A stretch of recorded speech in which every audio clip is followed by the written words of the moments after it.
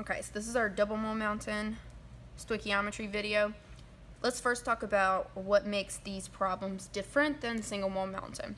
If you recall from single mole mountain video and from the practice ones we were doing, we did not have a reaction.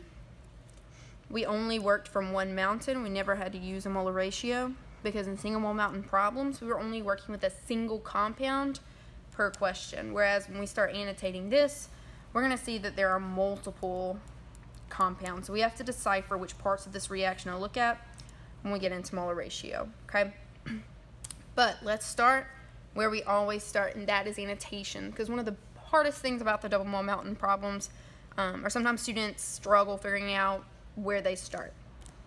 But not you guys, because you are great annotators. So we're to circle our numbers. And then we're underlining units. So again, we're looking for grams, moles, or particles, which is atoms or molecules. Except this time, we are going to circle or underline the unit, oh my goodness, the unit and who that unit belongs to. So here we're not going to just underline grams, we're going to say grams of NH3. The other unit, I see grams. Grams of who? Grams of H2O. Now some of you are going to say, but what about this O2 over here? That doesn't have a unit around it. If you read the question, it's really just saying that this is reacting with oxygen.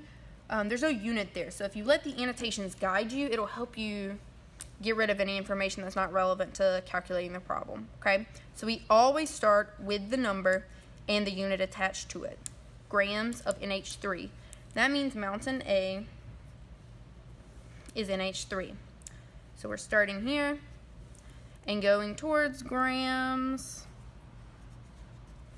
of H2O, which means if every line is a step and you cannot go where there's not a path, this will be a one, two, three step problem, ending with grams of H2O. So let's go ahead and set this up, starting with our number,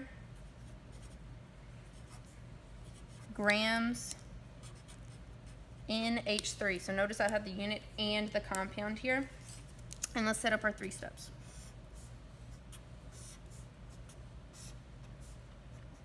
Now we're going to fill in units to cancel. And these are a little bit more difficult, a little bit trickier than the single mole mountain to keep up with.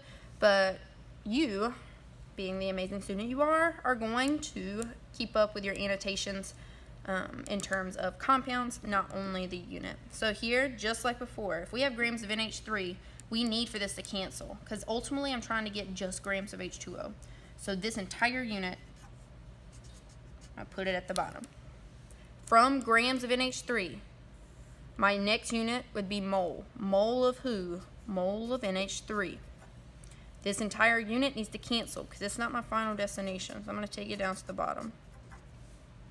From mole of NH3, I'm going to go to mole of H2O. This unit has to cancel. Take it to the bottom. And then my final step. So when I take a step back, my unit should cancel exactly diagonally. The only unit that doesn't cancel is on top of the last conversion. Now between these three steps, we need to figure out where the molar ratio is. So if you look at the comparison of units, this is a mole to gram comparison. That is not a molar ratio. Gram to mole, not a molar ratio. But here, we have mole on top of mole, a comparison of moles, which, my friends, is a ratio. So I'm just put a box around this. Because that box, in that box is the only place that the mole has the possibility of equaling something other than 1. And we're going to get the molar ratio from our balanced equation. Which part? Specifically the coefficients. And because you annotated with the compound there, I know which coefficient to put where. If you just had mole over mole, a lot of times kids will make very silly mistakes, okay? so inside of this, we're going to fill in the numbers by looking at the coefficients. So on top we have mole of H2O, so find H2O. That 6 goes here. NH3, there are 4. So now, outside of that, our rules go back to exactly the same as they were before.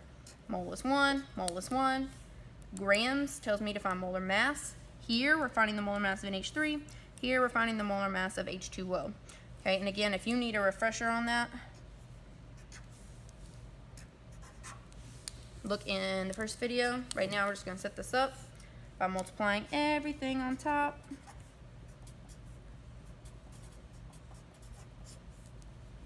Divided by everything on bottom.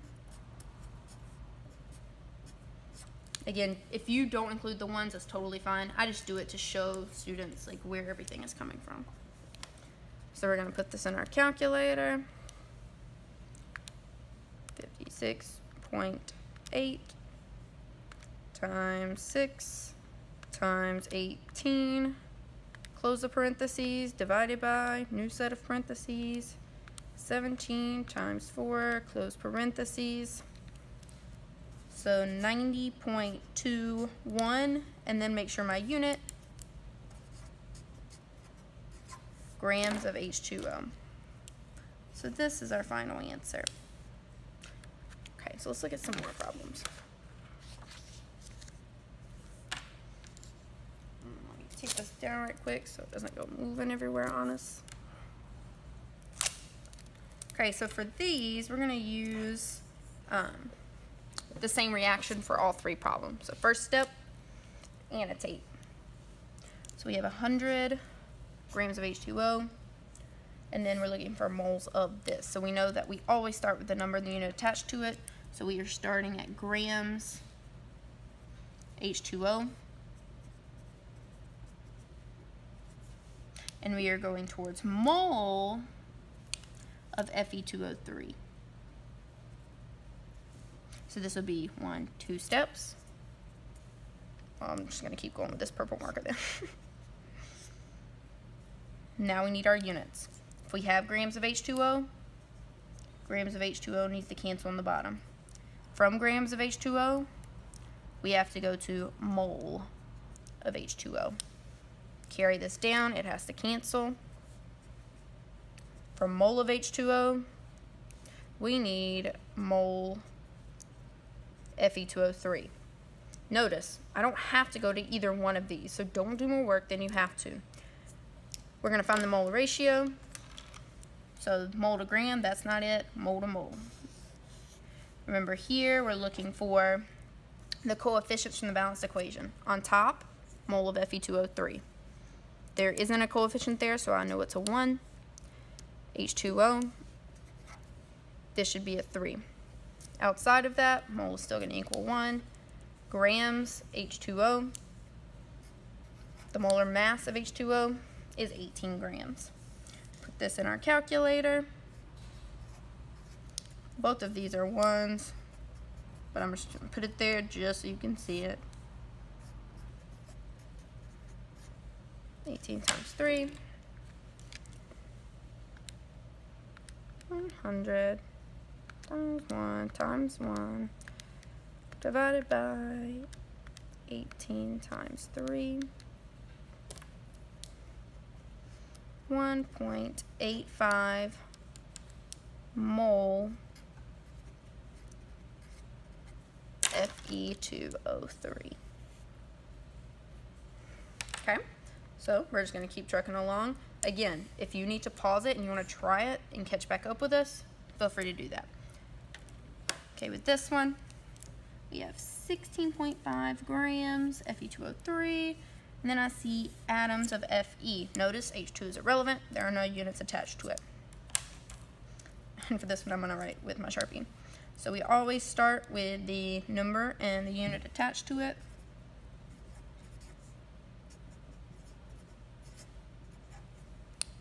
Okay, that means we're starting here at grams.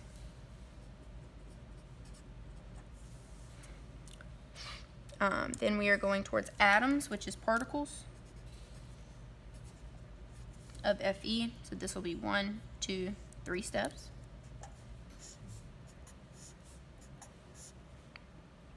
Now we need to make sure our units cancel. We have grams of Fe2O3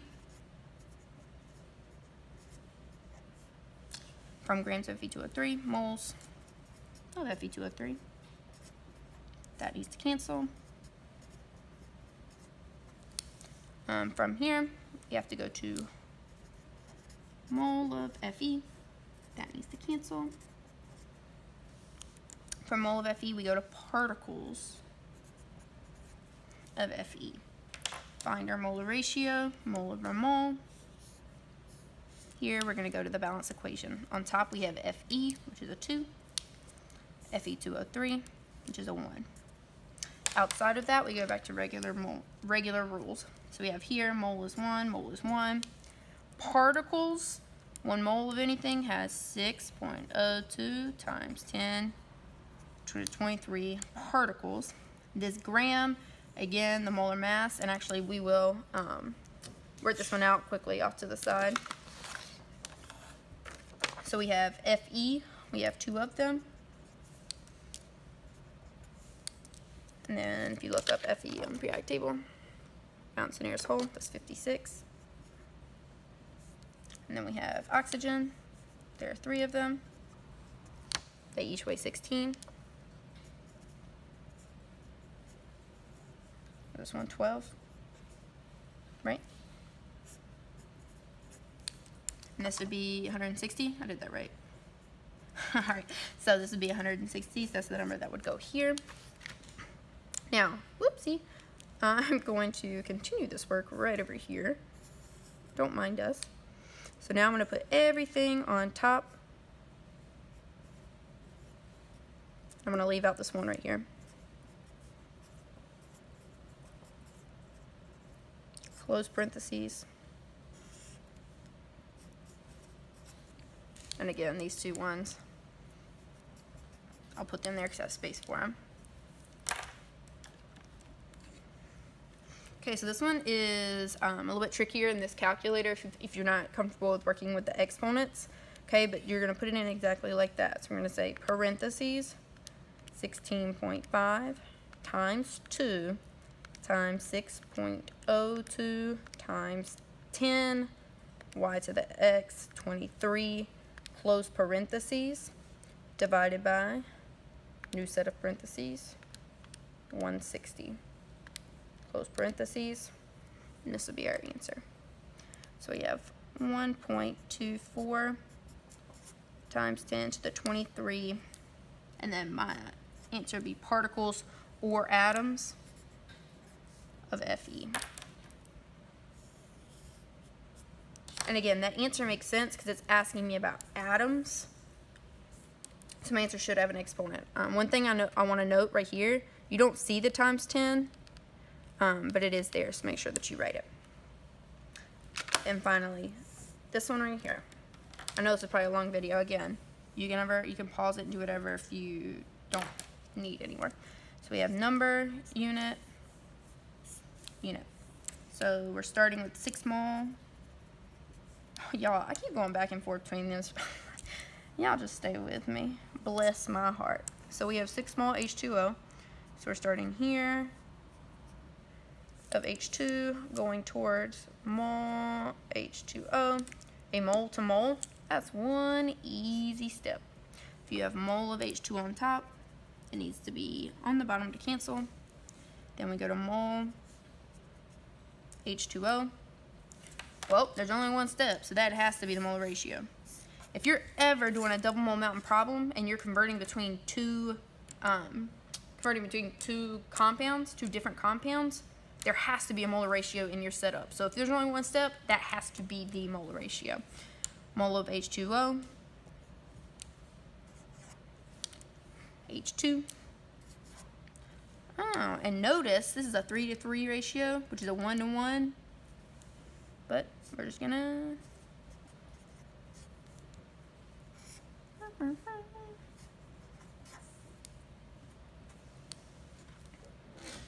And you can put it in your calculator, but I know it's going to be 6 mole H2O.